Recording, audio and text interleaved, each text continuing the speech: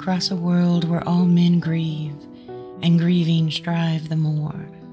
The great days range like tides and leave our dead on every shore.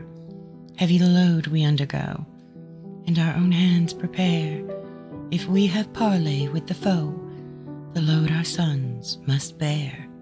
Before we loose the word that bids new worlds to birth, needs must we loosen first the sword of justice upon earth, or else all else is vain since life on earth began, and the spent world sinks back again, hopeless of God and man, a people and their king, through ancient sin grown strong, because they feared no reckoning would set no bound to wrong.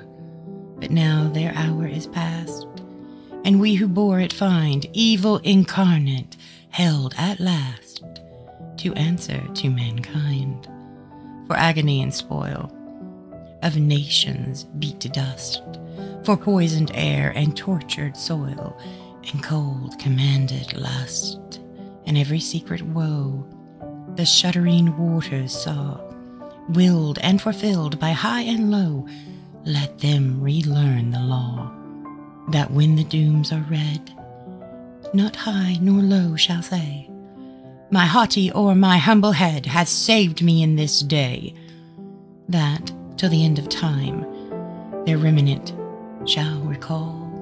Their fathers' old Confederate crime availed them not at all, that neither schools nor priest nor kings may build again.